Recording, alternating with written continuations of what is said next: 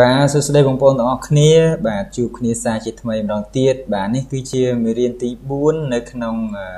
ការប្រើប្រាស់ Windows Server 2012ហើយមេរៀនទី4នេះដែរខ្ញុំនឹងបង្ហាញអ្នកទាំងអស់គ្នាពីរបៀប join domain បាទជាមួយនឹង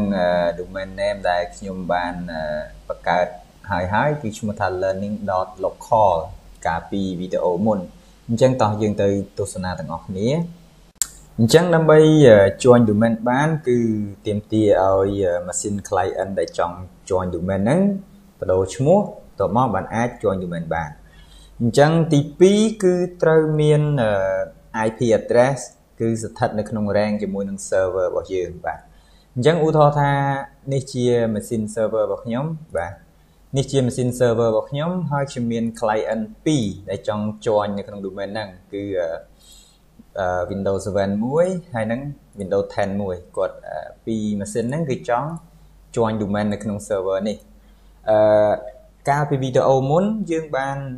សិក្សារួចមកហើយពាក់ព័ន្ធទៅនឹងរបៀបតម្លើង Active Directory ទៅឲ្យ Windows Server 2012អញ្ចឹងក្រោយពីយើង install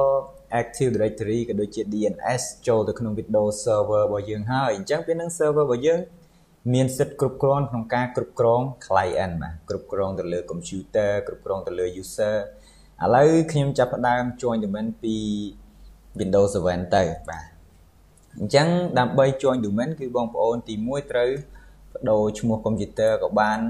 មុនចង់និយាយថាយើងចង់ដូរឈ្មោះ computer មុនក៏បានយើងដាក់ assign IP address មុនក៏បានហើយបងប្អូនទៅមើល Windows Server របស់យើងតើមាន IP address ប្រមាណ ចឹងខ្ញុំចូលទៅមើលកន្លែងនេះក៏បានដែរអញ្ចឹងចូលមកកាន់ local server ខ្ញុំនឹងឃើញ IP address បាទនេះ IP address របស់ server របស់ខ្ញុំគឺ192.168.1.253អញ្ចឹងយើងត្រូវធ្វើម៉េចទៅ assign IP នៅក្នុង client របស់យើងឲ្យស្ថិតនៅក្នុង rank ជាមួយគ្នាអញ្ចឹងចម្រាយ click ហើយខ្ញុំយក open network and sharing center តមកទៀតបងប្អូនយក ត្រង់កន្លែង change adapter setting ហើយ right click ត្រង់កន្លែងនេះយើងយក properties ហើយបន្តមកទៀត select កន្លែងនេះ internet protocol version 4បាទយក version 4ហ្នឹងមកហើយចុច property ដើម្បីដាក់ IP ស្ថិតនៅក្នុង rank ជាមួយ server អញ្ចឹង192.168.1ឥឡូវខ្ញុំអាចដាក់ថាចុចចាប់ផ្ដើមពីលេខ4ឧទាហរណ៍អញ្ចឹងចា ហើយ default gateway ខ្ញុំអត់ដាក់ទេហើយនេះខ្ញុំដាក់ដូច server របស់ខ្ញុំ192 168.1 ចុចអឺ server របស់ខ្ញុំហ្នឹង253បាទអញ្ចឹងបន្តមកទៀតខ្ញុំចុច OK OK អញ្ចឹងបងប្អូនទាំងអស់គ្នាអាច ping មើលតែវាស្គាល់ជាមួយនឹង server យើងនៅ បាទអញ្ចឹងខ្ញុំ ping សិនខ្ញុំចូលទៅ run search រក run មកបាទ run box ហើយពេលនេះខ្ញុំវាយដាក់ cmd ដើម្បី ping ទៅកាន់ server ទៅស្គាល់នៅអញ្ចឹងខ្ញុំ IP config សិនដើម្បីឆែកមើល IP របស់ Windows 7របស់ខ្ញុំបាទនេះគឺ192.168.1.4អញ្ចឹងខ្ញុំ ping សាក ping សិន ping 192.100 68.1.253បាទវាស្គាល់បាទអញ្ចឹងមានន័យថាវាស្គាល់ទៅកាន់ server ហើយអញ្ចឹងពេលខ្លះវាអត់ស្គាល់ទេណាបងប្អូនយើង ping ទៅ បើនិយាយពីនៅក្នុង local host របស់យើងអឺសំទោសបើនិយាយពីនៅក្នុង virtual machine ឬក៏ virtual box ឬក៏ VMware វាអាចដោយសារតែជាប់ Windows firewall អីចឹងណាអញ្ចឹងបងប្អូនចូលទៅបិទ Windows firewall ទៅអ ញ្ចឹងយើងសាក ping សាកថ្មីហើយបើមួយទៀតវាអាចមកពីអញ្ចេះដែរកន្លែង network setting ណាកន្លែងនេះ network setting តលតបងប្អូនយកប្រភេទ adapter ដូចគ្នាបើថានេះយក host only អញ្ចឹង machine server របស់យើងក៏ត្រូវទៅយក host only ដែរអត់អាចខុសគ្នាអាហ្នឹងត្រូវដូចគ្នាកន្លែងហ្នឹងណាអញ្ចឹងខ្ញុំ ping ស្គាល់ហើយអញ្ចឹងខ្ញុំសាក join domain ទៅមើលអឺដើម្បី join domain បងប្អូនទាំងអស់គ្នាចូលមកកាន់ computer បាទនេះ computer យើង right click យកពាក្យថា properties ហើយបងប្អូនចុចមកកន្លែង change setting អូខេអនេះជាទូទៅវាមាន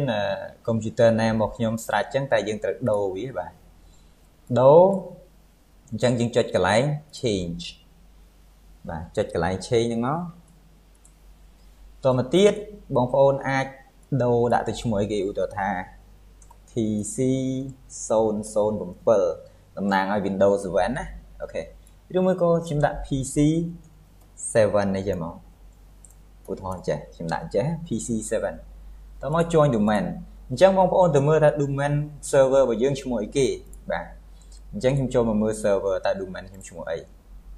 នេះគឺ domain បាទ domain server របស់ខ្ញុំគឺ learning.local បាទអញ្ចឹងបើ learning.local យើងវាយទៅក្នុងកន្លែងហ្នឹងយើងដាក់ learning.local ហើយយើងចុចអូខេវាប្រកាសជាទារក password និង username របស់ server របស់យើងហើយអញ្ចឹងយើងចុច OK មក OK ឥឡូវ username password របស់ server យើងត្រូវចាំដែរអឺជាទូទៅវា administrator ហ្នឹងឯងបាទ administrator administrator ទៅមកវាយ password របស់ administrator ធម្មតាយើងជា administrator យើងដឹងហើយមែនទេ cap lock on អូខេ off វាយ password password username នេះគឺបោះ server របស់យើងនេះដែលយើង lock ចូល server នេះ username របស់ server របស់យើងនេះយើងមើលមកនេះ administrator ហ្នឹងហើយ lock ចូល password ហ្នឹងមកតមកទៀតអ្នកទាំងអស់គ្នាចុចអូខេហើយចាំវាបន្តិច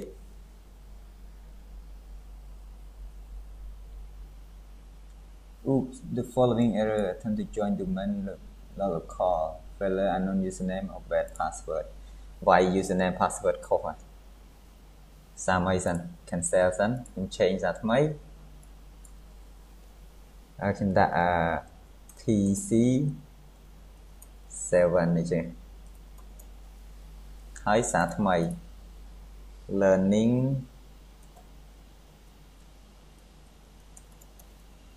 learning.local បាទវាយឲ្យត្រូវបងប្អូនកន្លែងហ្នឹងហើយយើងអូខេតទៅទៀតយើងវាយ username add add អូវាយ administrator ខុស administrator វាយយើងក៏ខុសដែរនេះមិន cap lock ជា on រហូតចឹងវាយ password ហើយយើងចុច OK ចាំវាបន្តិច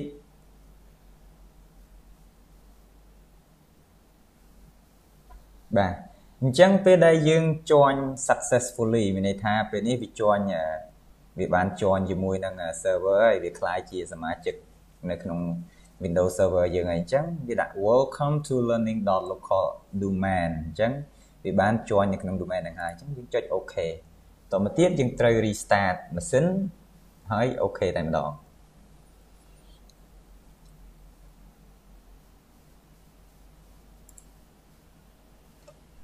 អញ្ចឹងនេះបងប្អូនចុច restart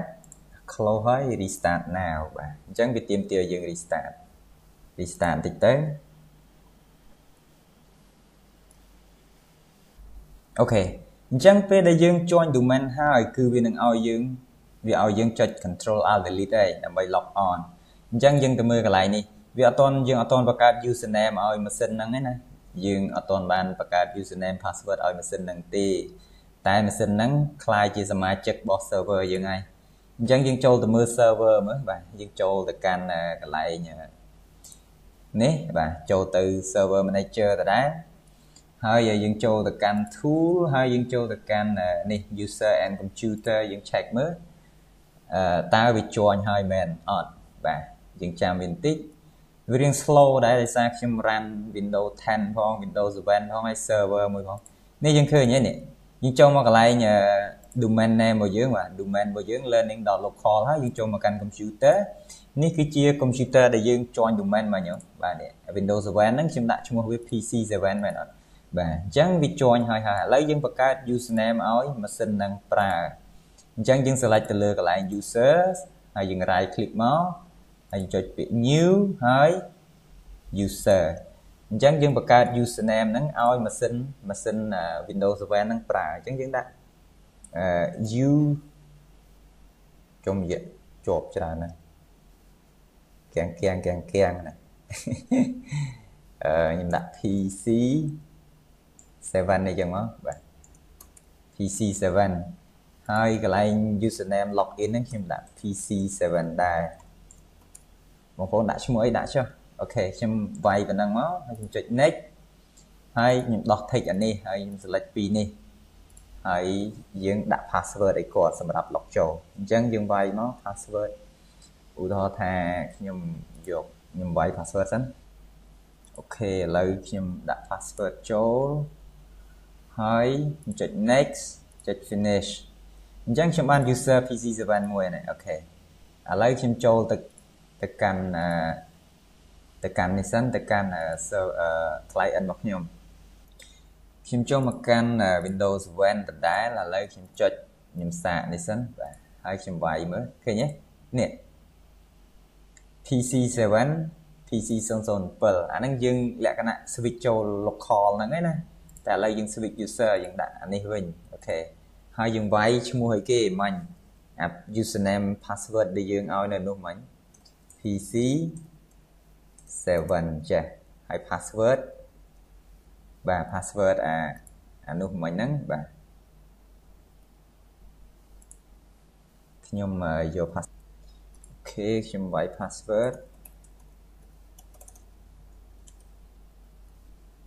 enter អូខេ welcome ណាអញ្ចឹងវា preparing desktop ហើយដោយសារវា log in លើកដំបូងអញ្ចឹងពេលហ្នឹងវា join វា join domain ហ្នឹងបានសម្រេចហើយបាទអញ្ចឹង Windows 7វា join domain បែបនេះគឺឥឡូវយើងចូលបានហើយយើងអាច confirm មើលថាយើងស្ថិតនៅក្នុង domain ហ្នឹងមែនអត់អញ្ចឹងយើងចូលមករក control R យើង run មកបាទ run ចំយកវាយខុសទៀតហើយ CMD ហើយយើងមើល check មើល who am I បាទ who am I ហ្នឹងតើខ្ញុំជាអ្នកណា learning/pc7 អញ្ចឹងមានន័យថាយើងស្ថិតនៅក្នុង domain learning អូខេឥឡូវយើង PC PC នេះយើងបាន join domain ហើយជាមួយ Windows 7ឥឡូវខ្ញុំបិទវាខ្ញុំទៅ join domain ជាមួយនឹង Windows 10ម្ដងបាទឥឡូវខ្ញុំបិទខ្ញុំបិទ Windows 7ហើយខ្ញុំចូលទៅកាន់ Windows 10ម្ដងបាទអញ្ចឹងនេះ Windows 10អញ្ចឹងវាអត់ខុសគ្នាទេជំហានទី1គឺអ្នកទាំងអស់គ្នាត្រូវដាក់ IP address របស់យើងសិនបាទអញ្ចឹងខ្ញុំចូលទៅកន្លែងនេះដដែល right click ហើយយក open network setting ហើយយក ethernet ហើយបន្ទាប់មក change adapter option បាទ click លើវាមកហើយយើង right click លើ ethernet ហ្នឹងមកបាទ ethernet បន្ទាប់មកយើង select លើនេះបាទ protocol version 4បាទ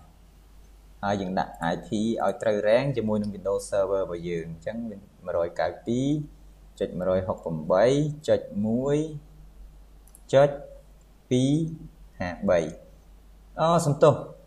ខ្ញុំដាក់ចុច5អូខេហើយ DNS server ហ្នឹងគឺដាក់អឺសំទោស prefer DNS server យើងដាក់ IP របស់ server របស់យើងដែរទៅ168 1.1.253អូខេអញ្ចឹងបន្ទាប់មកយើងចុចអូខេឥឡូវយើងដាក់ IP address ហើយតមកទៀតយើងធ្វើអីយើងត្រូវដូរឈ្មោះឲ្យកុំព្យូទ័រហ្នឹងហើយនឹងអីគេហើយបន្តមកទៀត join domain បាទអញ្ចឹងតែយើងត្រូវធ្វើម៉េចចំពោះ Windows 10អ្នកទាំងអស់គ្នាចូលទៅ start ហើយ search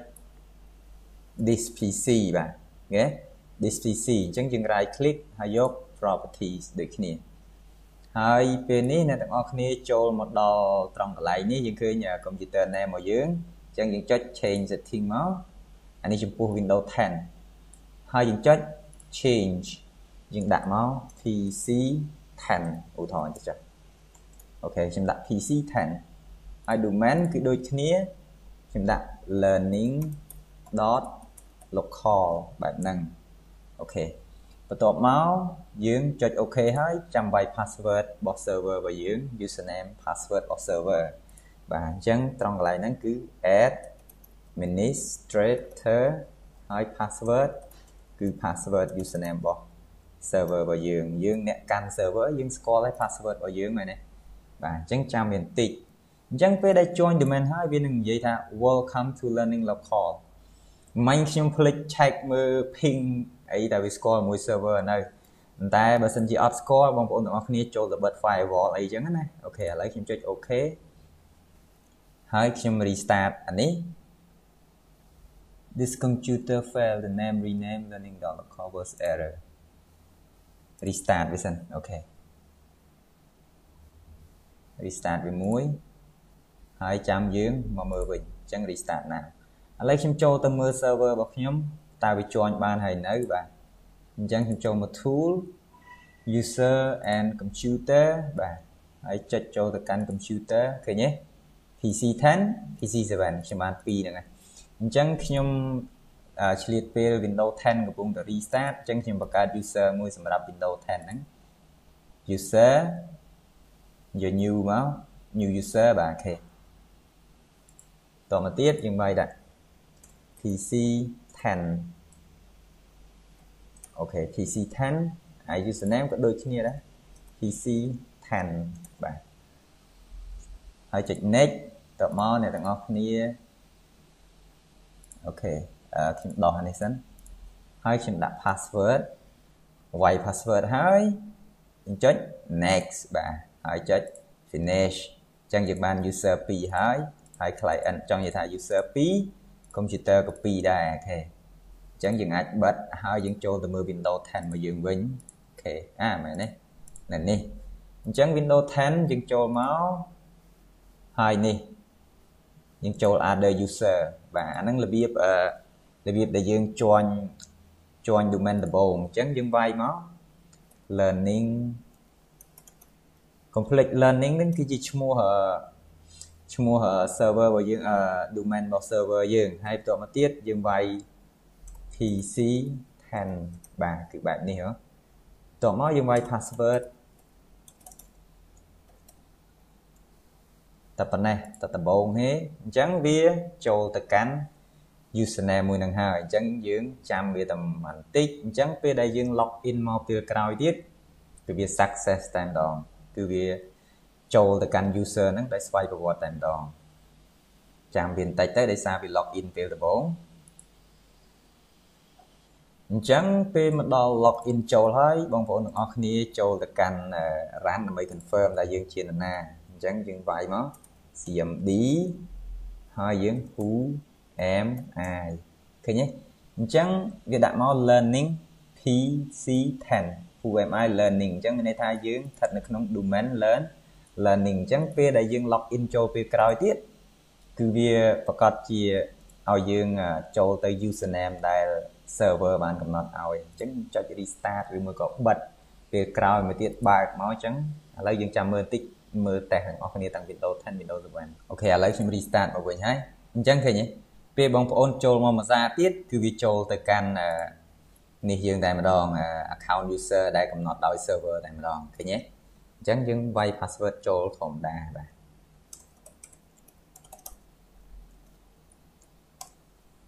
អញ្ចឹងអូខេចំពោះ Windows 10មួយ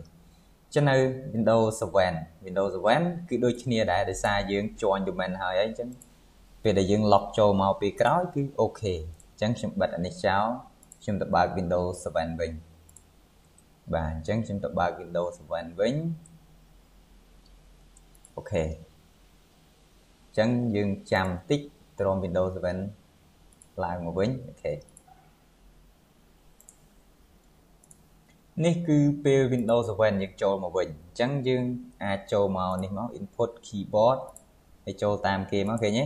វាចូលទៅកាន់ username password ដែលកំណត់ដោយ server យើងតែម្ដងអញ្ចឹងពេលហ្នឹងមានន័យថាយើង join domain បានសម្រេចបាទខ្ញុំវាយ password តិចទៅបាទ ចូលបាទអញ្ចឹងមានន័យថាវីដេអូរបស់យើងចប់ហើយអញ្ចឹងអរគុណសម្រាប់ការតាមដានតាំងពីដើមរហូតដល់ចប់រៀងវែងតិចវីដេអូដោយសារខ្ញុំ join domain ពី Windows របស់គ្នា Windows 7ផង Windows 10ផងអញ្ចឹងសង្ខេបឡើងវិញអឺបើសិនបងប្អូនចង់ join domain ទី1យើងត្រូវកំណត់ IP របស់ client ហ្នឹងធ្វើម៉េចឲ្យត្រូវ rank ជាមួយនឹង IP របស់ server របស់យើងហើយបន្ទាប់មកទៀត rename computer client ហ្នឹងបន្ទាប់មក join domain ពេលហ្នឹងបន្ទាប់មកទៀតវានឹងសួររក password ហើយនឹង username របស់ server របស់យើងអញ្ចឹងវាយ username និង password របស់ server ហើយចុច OK ពេលហ្នឹងយើងនឹង join បានសម្រេចពេលដែល join បានសម្រេចអ្នកទាំងអស់គ្នាត្រូវទៅបង្កើត user ឲ្យ client មួយមួយម្នាក់ប្រើទៀតដោយខ្ញុំធ្លាប់បង្ហាញនឹងពីដើមនឹងមកអញ្ចឹងយើងធ្វើតាមដំណាក់កាលហ្នឹងទៅបន្តមកទៀតយើងនឹងជោគជ័យបាទ អញ្ចឹងចាំជួបគ្នានៅវីដេអូក្រោយទៀតបាទអរគុណជម្រាបលា